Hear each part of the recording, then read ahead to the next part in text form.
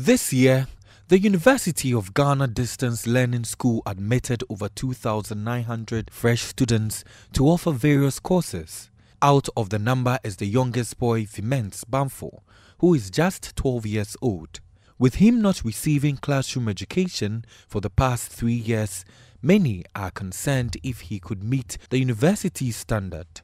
His age in the university is a big deal because in Ghana, the least age for tertiary education is mostly 18, taking into account the cycle of the country's education system. But with the advancement of the world, very young people are changing the narrative. Same can be said in the case of this 12 year old boy who has gained admission to pursue tertiary education. Viemens Bamfo has been offered a course in public administration. At his age, many would have expected to see him at most in the senior high school, but that is not the case. In a family of three, Viemens is the second child to benefit from his father's home tuition. Viemens was withdrawn from school after lower primary education at the Mauli International School at Akim Oda in the Eastern region. This means he did not go through upper primary, junior high school and senior high school system. He however wrote the private WASSCE and passed. His father, Robert Bamfo, says he decided to homeschool his children due to financial constraints, a decision he says was very tough. What I teach first is dictionary skills that the child should be able to pronounce every word without me nor any other person. Where there is difficulty, the ch child must resort to the dictionary. There are phonetic symbols. So we do the phonetic skills, and then once that is done, for vocabulary development, I teach Latin. Uh-huh. I teach Latin for vocabulary development. In the sciences, I don't give notes. We, what we do is textbook centered.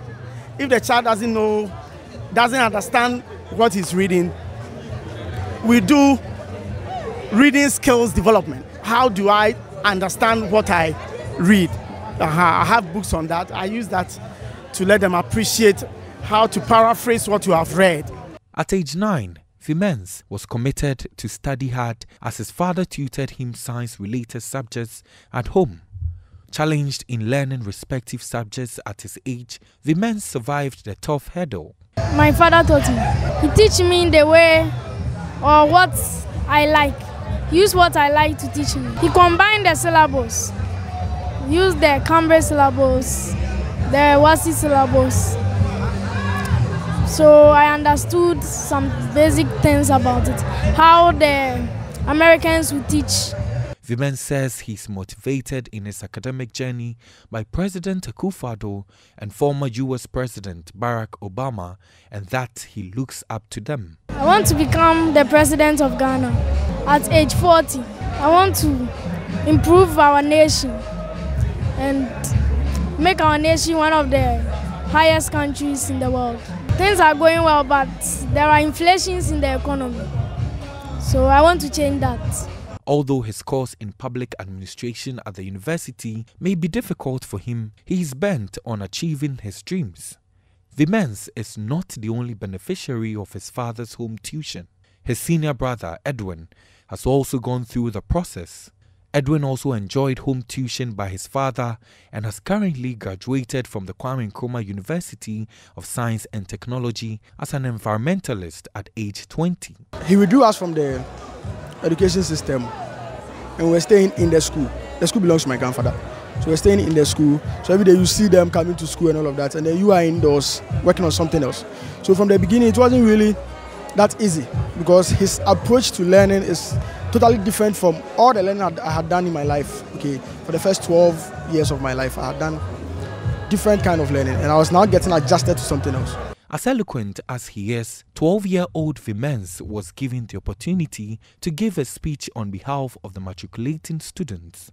For I said in Latin, and I quote, Mutum sperandum, qui mutum datum est, meaning much more is expected to whom much is given. With all the teachings that has been given to these um, children, um, their father is very optimistic that um, they will all grow to become what they wanted to be in future. Reporting for Citi News, my name is Kweku Ediama Hansa.